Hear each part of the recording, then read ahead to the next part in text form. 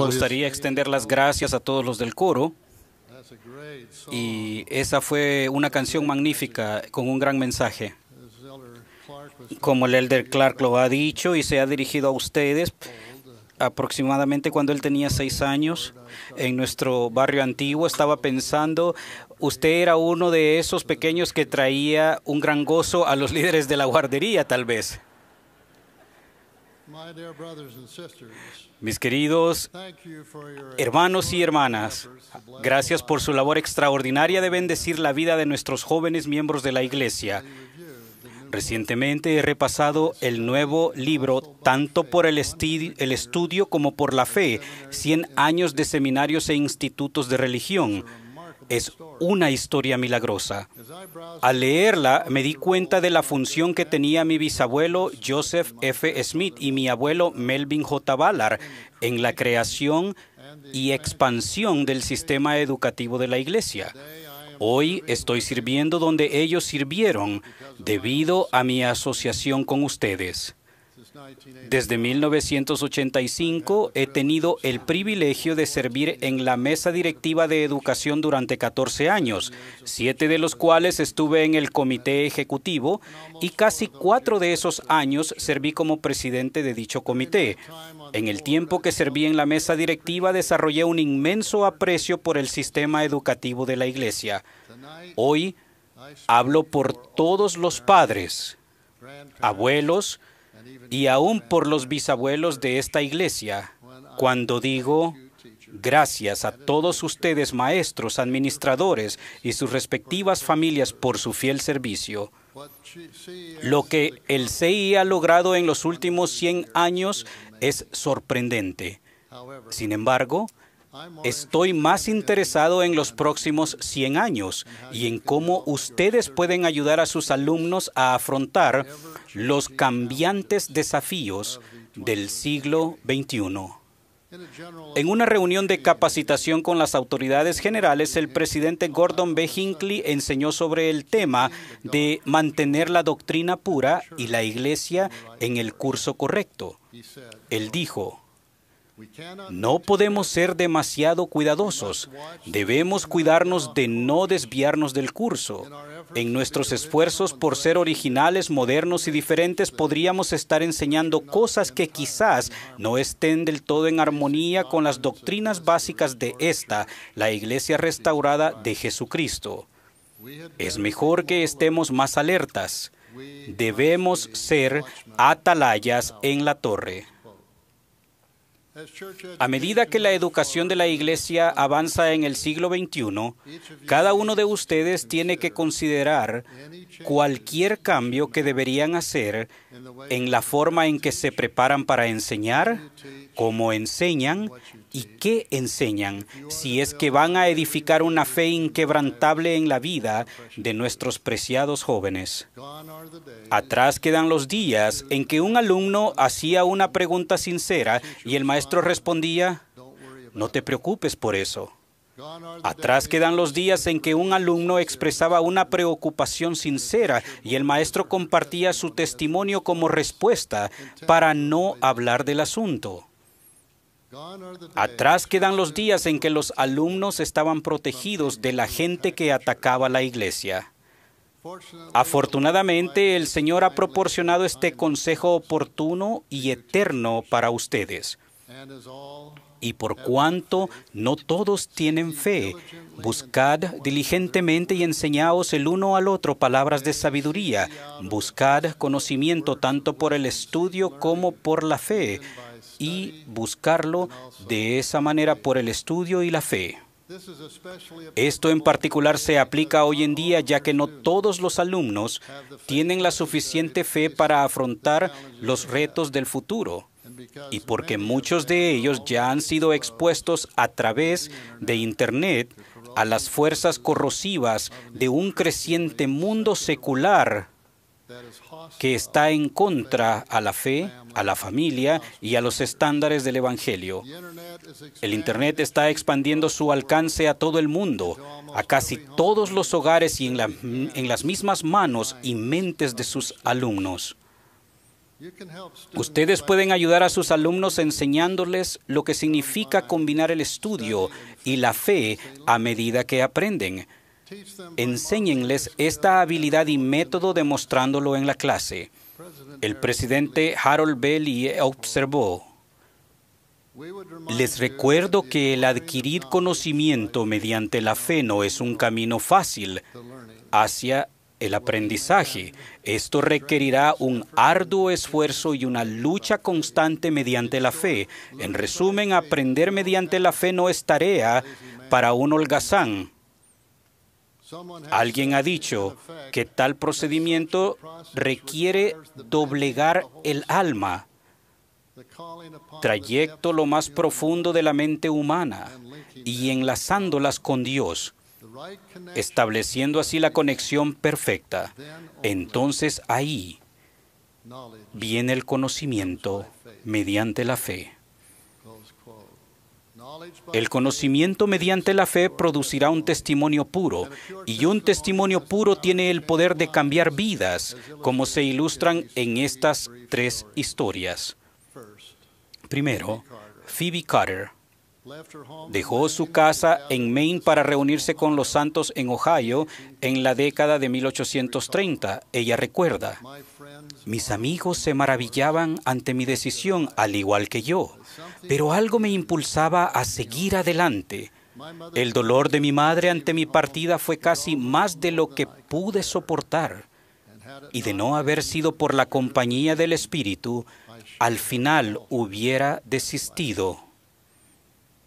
Phoebe siguió al profeta y se reunió con los santos en Ohio y finalmente a Utah, donde falleció como una fiel santo de los últimos días y esposa unida en yugo igual a su esposo, el presidente de la iglesia, Wilford Woodruff. El siguiente relato proviene de la biografía de Marion G. Como estudiante universitario, Marion había decidido que no podía ir a una misión debido a la situación financiera de su familia. En una ocasión escuchó hablar al elder Melvin J. Ballard.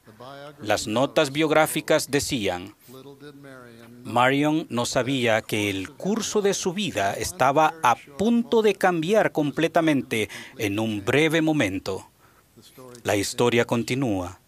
El padre de Marion había dicho a sus hijos que había tanta diferencia entre un hombre que vivía bajo la inspiración del Espíritu y de uno que no lo hacía, como la había entre un árbol que crecía y un tronco muerto.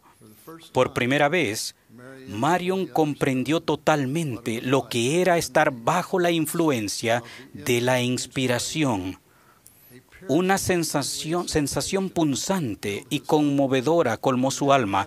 Él nunca había sido conmovido como lo había sido ahora, escuchando las palabras del más reciente de los apóstoles. El joven Marion estaba electrificado. El resplandor del rostro del apóstol y la sinceridad de su testimonio lo colmaron de un deseo irresistible de ir a una misión. Él sabía que sus planes para sus estudios superiores debían posponerse.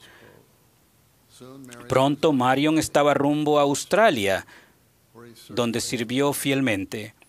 Posteriormente se convirtió en un poderoso apóstol y miembro de la primera presidencia. El último relato lo contó el presidente Boy K. Packer sobre el impacto que tuvo un maestro en la vida de William E. Barrett.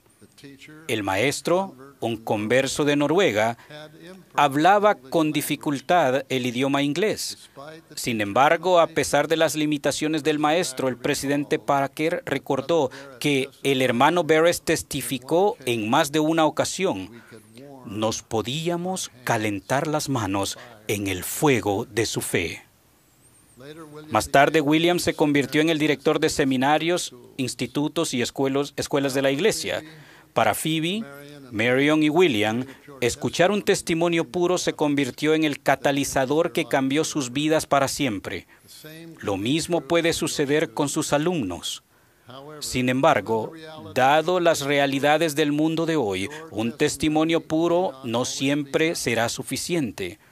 Phoebe, Marion y William estaban limpios y puros, libres de la pornografía y de lo mundano mientras estuvieron a los pies de misioneros, maestros y líderes inspirados.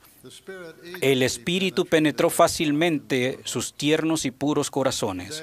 Hoy en día la historia es muy diferente. Algunos de sus alumnos ya han sido infectados por la pornografía y lo mundano antes de llegar a sus clases.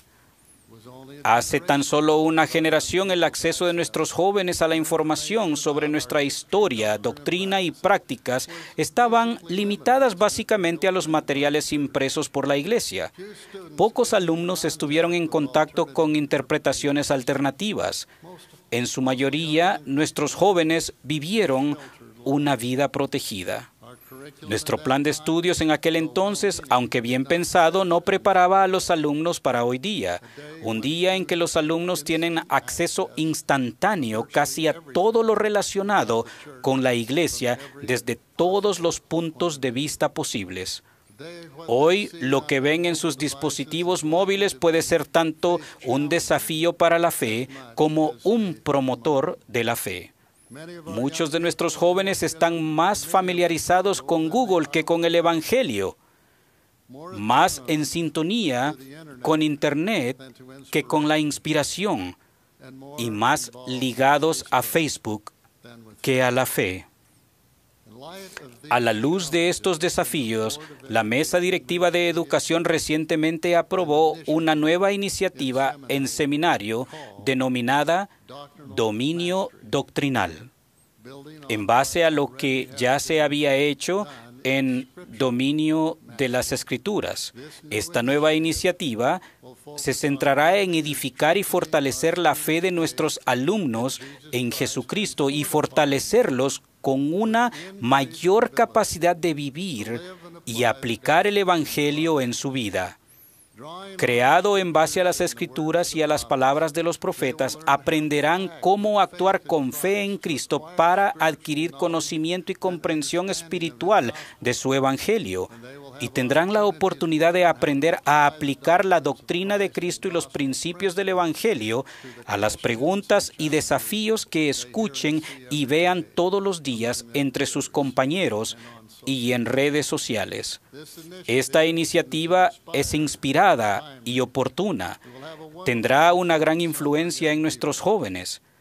Sin embargo, el éxito del dominio doctrinal y el de todos los otros programas de estudios del CEI dependerán en gran medida de ustedes. A la vista de estos desafíos, ¿cuáles son sus oportunidades y responsabilidades como maestros del CEI en el siglo XXI? Obviamente, deben amar al Señor, a su iglesia y a sus alumnos. También a menudo deben expresar un testimonio puro y sincero. Además, más que en cualquier otro momento de la historia, sus alumnos también tienen que ser bendecidos al aprender el contenido y contexto doctrinal o histórico por medio del estudio y de la fe, acompañado de un testimonio puro, para que puedan experimentar una conversión madura y perdurable al Evangelio y un compromiso de por vida con Jesucristo. La conversión madura y perdurable significa que van a permanecer en el barco y sujetarse a lo largo de sus vidas. Para que ustedes comprendan el contenido doctrinal e histórico y el contexto de las escrituras y de nuestra historia, tendrá que estudiar de los mejores libros, como lo indicó el Señor. Los mejores libros incluyen las escrituras, las enseñanzas de los profetas y apóstoles modernos y la mejor erudición subdisponible por medio de sus mejores esfuerzos diligentes para aprender por medio del estudio y la fe, serán capaces de ayudar a sus alumnos a aprender las habilidades y actitudes necesarias para distinguir entre la información confiable que los elevará y las verdades a medias e interpretaciones incorrectas de la doctrina, la historia y las prácticas que los desmoralizarán. Enséñenles acerca de los desafíos que afrontan cuando confían en Internet para responder preguntas de significado eterno. Recuérdenles que Santiago no dijo, si alguno de vosotros tiene falta de sabiduría, vaya a Google. La gente sabia no depende de Internet para diagnosticar ni tratar problemas de salud emocional, mental ni física, en especial problemas que pongan en riesgo la vida. En su lugar, buscan profesionales de la salud, aquellos formados y autorizados por reconocidas juntas médicas y estatales. Aún así, la gente prudente busca una segunda opinión. Si ese es el camino sensato para buscar respuestas para problemas de salud emocional, mental y física, ¿cuánto más aún cuando la vida eterna está en juego? Cuando algo tiene el potencial de poner en peligro nuestra vida espiritual, nuestras relaciones familiares más preciadas y nuestra membresía en el reino, Debemos encontrar líderes de la iglesia considerados y fieles que nos ayuden.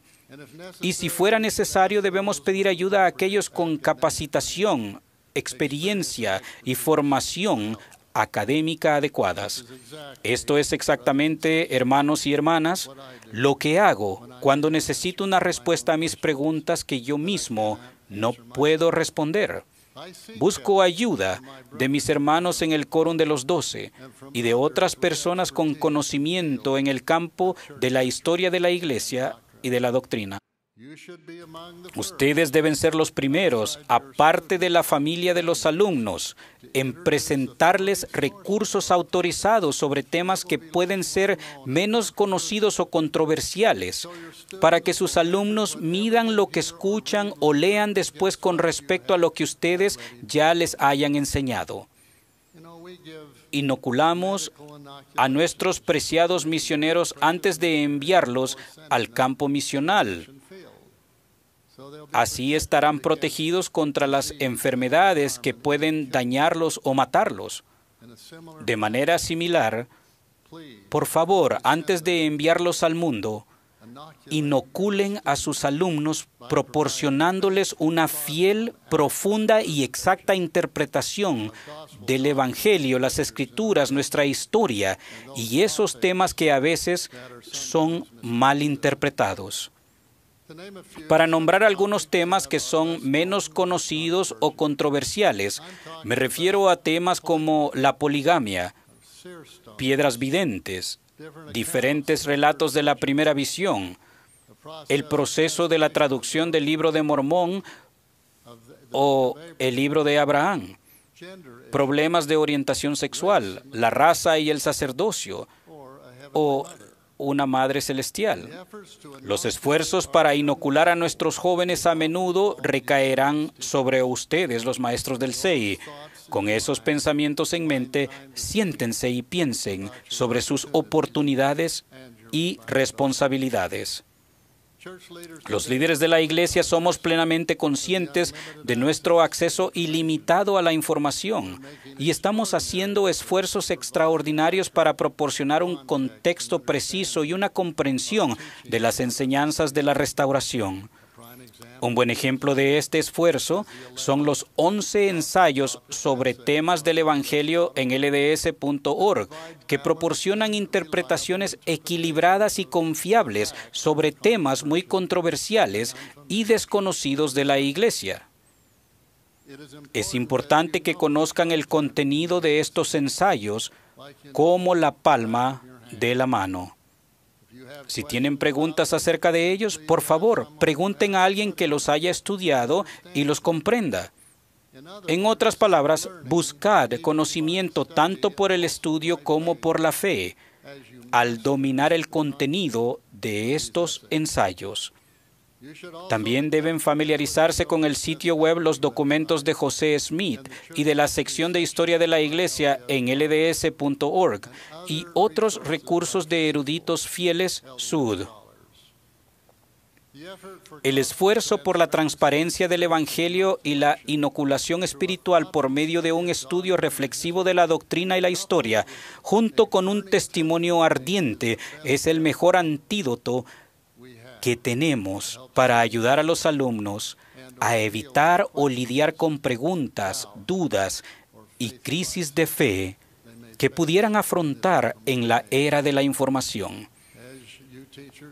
Al pagar el precio de comprender mejor nuestra historia, doctrina y prácticas, mejor de lo que ya la conocen, ustedes los maestros estarán preparados para proporcionar respuestas bien analizadas, cuidadosas e inspiradas a las preguntas de los alumnos. Una forma de saber qué preguntas tienen sus alumnos es escucharlos con atención. Nuestra primera hija, cuando tenía cinco años, se subió a mi regazo mientras estaba leyendo el periódico. Ella me estaba diciendo algo importante para ella y yo no estaba prestando atención. Así que estiró sus pequeñas manos, bajó el periódico, tomó mi rostro con sus manos, me miró directamente a los ojos y dijo, Papi, no me estás escuchando. Ella tenía razón. Yo estaba equivocado al no escucharla. Todos los buenos maestros tienen que ser buenos oyentes. Además de escuchar a sus alumnos, por favor, invítelos en clase o en privado a que les hagan preguntas acerca de cualquier tema. Una de las preguntas más importantes que sus alumnos podrían hacer es, ¿por qué? Cuando se hace con un sincero deseo de entender el por qué, es una gran pregunta. Es la pregunta que los misioneros desean que hagan sus investigadores. ¿Por qué estamos aquí? ¿Por qué le pasan cosas malas a la gente buena? ¿Por qué debemos orar? ¿Por qué debemos seguir a Cristo? A menudo preguntar por qué conduce a la inspiración y a la revelación. Conocer el plan de nuestro Padre Celestial ayudará a responder muchas de las preguntas ¿por qué?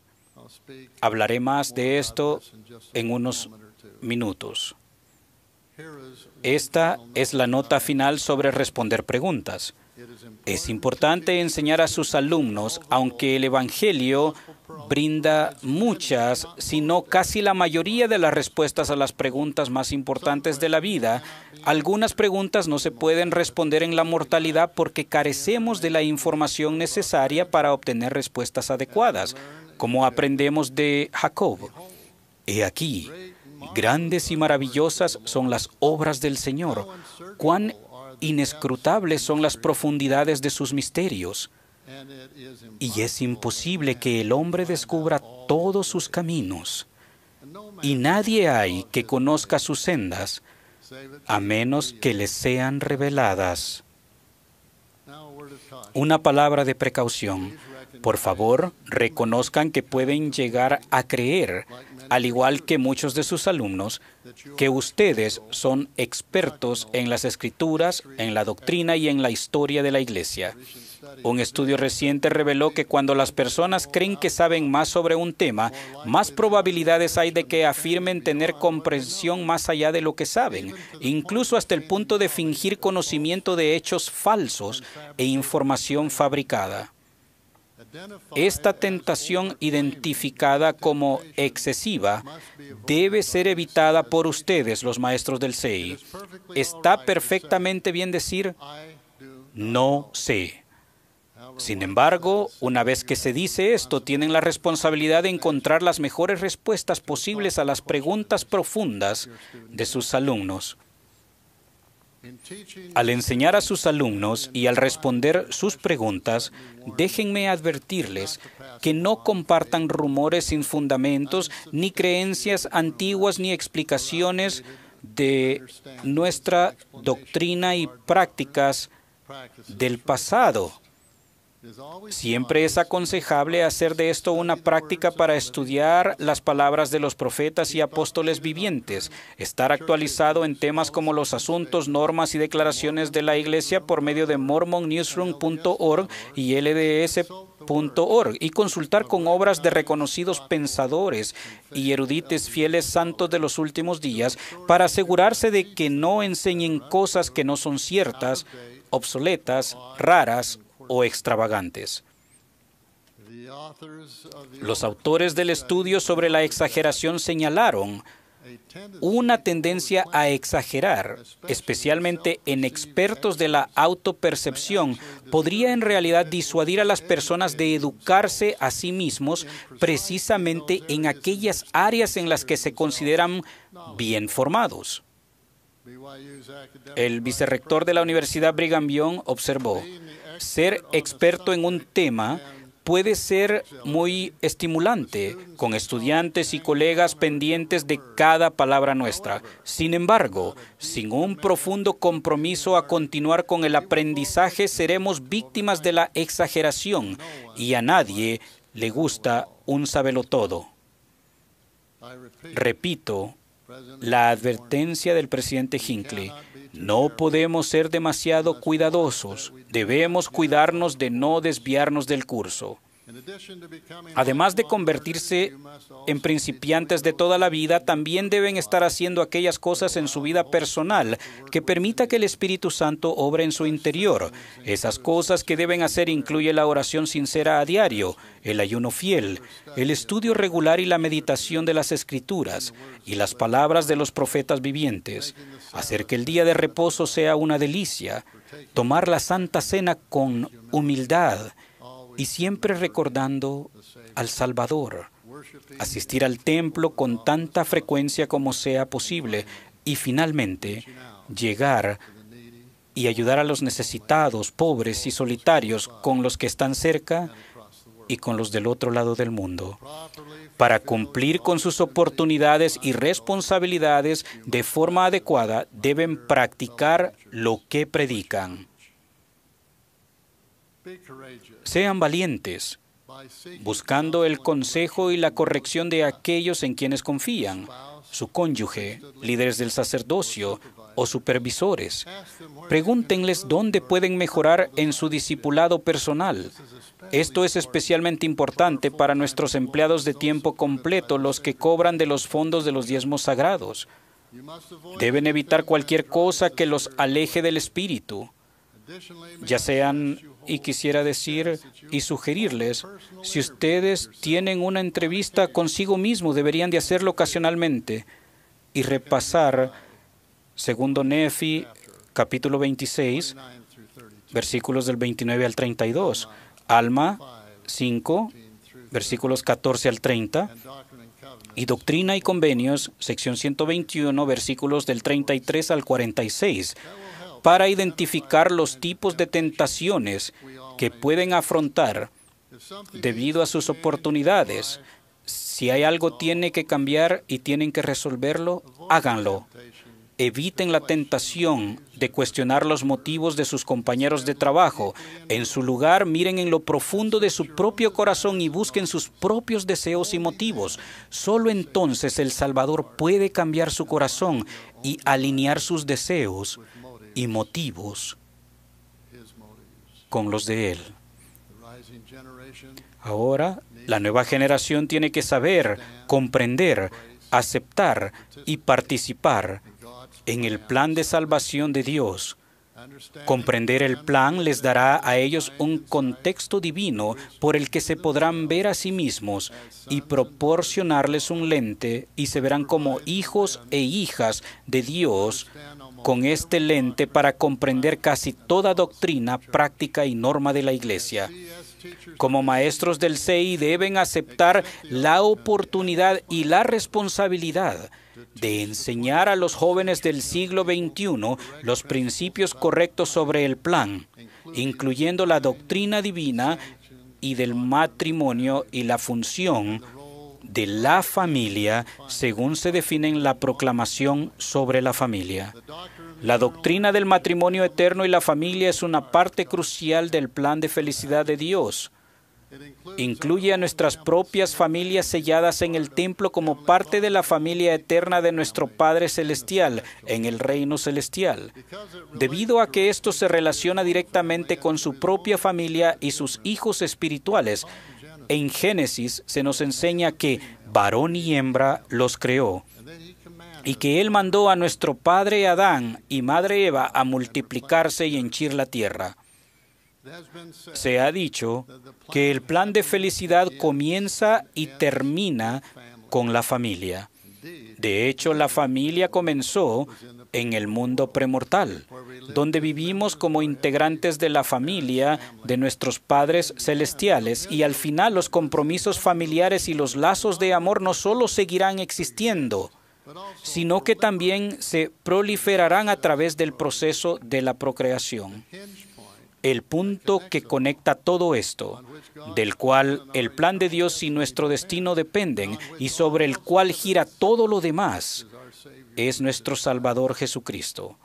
Su sacrificio expiatorio hace posible todas las cosas, entre las que se incluye, pero que no se limita a un matrimonio y una familia eternos, donde reine el amor y la comprensión. El Señor nos enseña que ninguna persona, sin importar su rectitud, puede obtener todo lo que nuestro Padre Celestial tiene para sus hijos. Una persona es la mitad de la ecuación incapaz de morar en el grado más alto del reino celestial. Sus alumnos deben entender que el propósito de la mortalidad es llegar a ser más como Dios, al obtener cuerpos físicos, ejercitar el albedrío y asumir funciones que antes pertenecían solo a nuestros padres celestiales, la función de esposo, esposa y padres.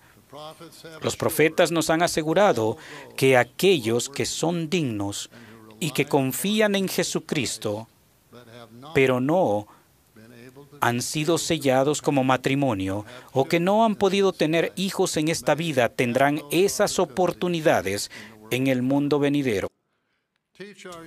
Enseñen a sus alumnos que en la iglesia del Señor hay lugar para todos, para adorar, servir y crecer juntos como hermanos y hermanas en el Evangelio. Recuérdenles lo que enseñó Ley, que el objetivo y la esperanza de Dios para todos sus hijos se puede resumir de la siguiente manera. Adán cayó para que los hombres existiesen y existen los hombres para que tengan gozo.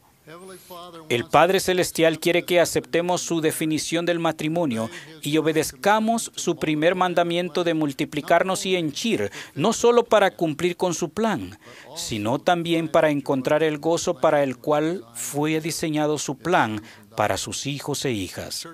Los miembros de la Iglesia no son los únicos en reconocer este principio.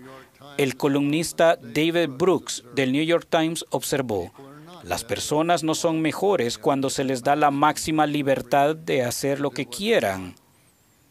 Son mejores cuando tienen compromisos que trascienden su elección personal, compromisos con la familia, con Dios, con el trabajo y el país. Como educadores de la Iglesia, ayuden a nuestros jóvenes a tener un claro entendimiento de la doctrina del plan de felicidad de Dios, por el cual viene el verdadero gozo a sus hijos.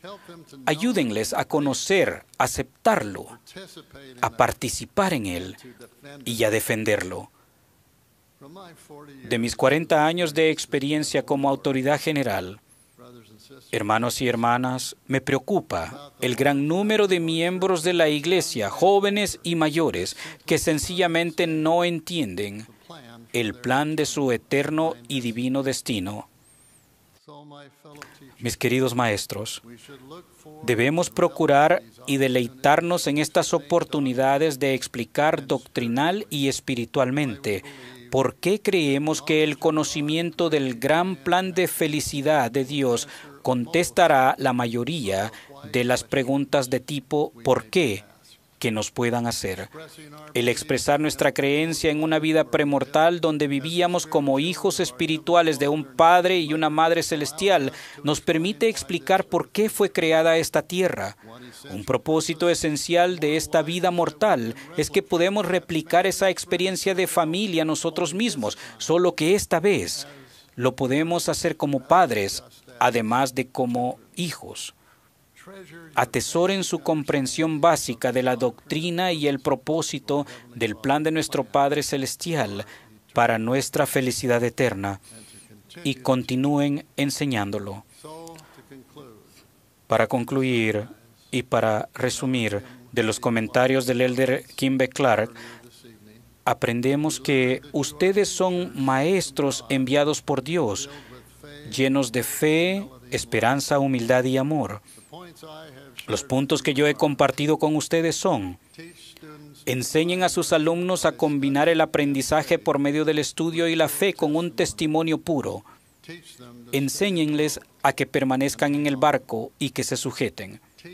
Enseñen a los alumnos a controlar sus dispositivos móviles y a que se centren en estar más conectados con el Espíritu Santo que con Internet. Inoculen a sus alumnos con las verdades del plan de salvación que se encuentran en el Evangelio de Jesucristo. Dominen el contenido de los ensayos sobre temas del Evangelio. Recuerden que ¿por qué? puede ser una gran pregunta que conduce al entendimiento del Evangelio. No exageren y no tengan temor de decir, no lo sé. Conviértanse en aprendices durante toda la vida. Busquen consejo y corrección de aquellos en quienes confían. Consideren tener una entrevista personal de vez en cuando para repasar su propia preparación espiritual, diligencia y efectividad. Enseñen a los alumnos que el plan de felicidad comienza y termina con la familia. Tengan el plan de salvación en mente siempre. Enseñen que el matrimonio y la familia nos brindan gozo perdurable. Y recuerden que combinar el aprendizaje con el estudio, la fe y un testimonio puro brindan verdad y conversión perdurables. Por encima de todo lo demás, una fuerte fe en la expiación del Señor Jesucristo es esencial para nuestra fortaleza espiritual y crecimiento. Ahora, mis amados maestros, ruego que el Señor les bendiga a cada uno de ustedes. Cualquier carga lleven sobre ustedes, ruego que sea quitada. Ruego que encuentren el regocijo, la paz que viene de su enseñanza y que puedan ser elevados como uno de los hijos de Dios en esta jornada para que algún día puedan estar una vez más en su presencia y en sus brazos. Les dejo mi testimonio que tenemos la plenitud del Evangelio de Jesucristo que ha sido restaurado por el profeta José Smith. La plenitud del Evangelio está en nuestras manos. Debemos tenerlo en nuestras mentes y en nuestro corazón y enseñarlo con poder. Ruego que el Señor les bendiga a cada uno de ustedes. Es mi humilde oración y bendición en el nombre de Jesucristo. Amén.